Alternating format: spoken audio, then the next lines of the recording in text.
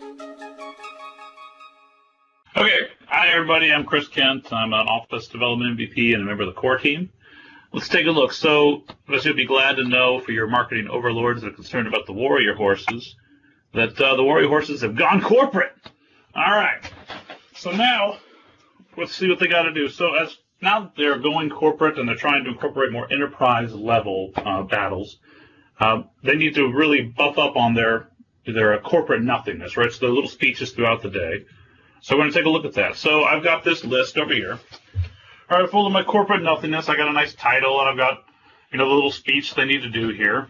Right, and generally if I want to do column formatting, it's as simple as I come down here, column settings, I say format this column, and I paste an exciting format. All right, all this one does is it uh, applies teal text, right? That's easy. So now I come over here, and I've got our nice repo here. Get that? Uh, we've got all sorts of cool samples, and I come in here to column samples, and I look down here, and I say, hey, look, text wrap format. I think this is exactly what I want. What this will do is it'll take this stuff right here where it's getting cut off there. I want to see that full speech, right? So horses have hooves, you know, using a mouse is hard. So we want to show the full speech all at once. So I'm going to grab this format. It's a really simple format. It's actually one of our earliest ones. I come back here and I'm like, okay, I'll going here. Oh my gosh! There's no format this column option for multi-line text fields. What do I do?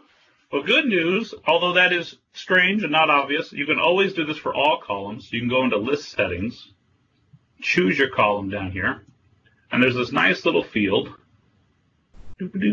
right down here where you can paste your column formatting directly, right? So I can expand that out so you can see a little better. So I'm going to paste that format I got from the sample. All right, we're going to see if we can make it just slightly fancier. All right, we're going to add attributes.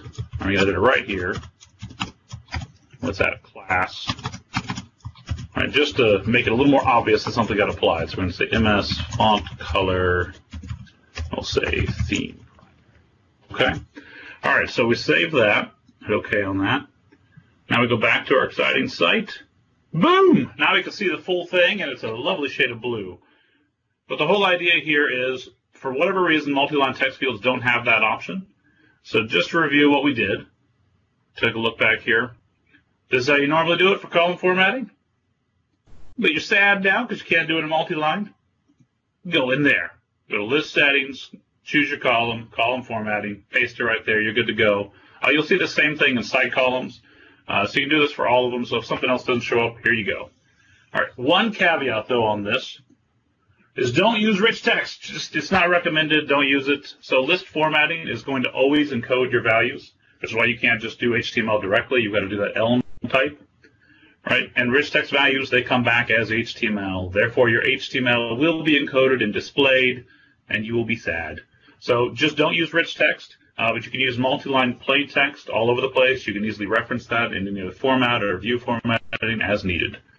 And finally, here's some uh, resources. So check out the full documentation here. Find out what kind of columns are allowed, all that kind of stuff. Here's that sample. And then if you want a, a longer write-up of that, you can go to this link here. We paste that in there. So it's a slightly longer blog. We'll tell the details. But that's it for the list formatting tip this week. Woo!